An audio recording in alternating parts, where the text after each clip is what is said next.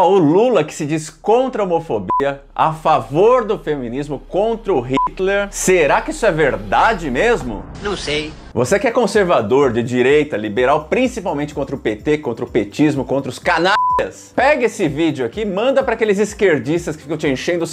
todo dia, defensores do Lulinha, da Manuelinha, desse, desse grupinho aí do Paz e Amor. Separei três frases do Lula aqui pra gente conferir se de fato ele é o que ele diz ser. Mas antes disso, curta, comenta, compartilha, isso é fundamental, fundamental para o PT não voltar ao poder. Veja, eu não tenho preconceito não. O cara que chamam de homossexual, no nosso meio, a gente chama é de viado mesmo. Isso não é ser contra a homofobia, senhor Lula. Isso é ser O próprio caboclo que ia levar uns tapão meu. homofóbico dentro da cartilha de vocês. Agora, feminismo.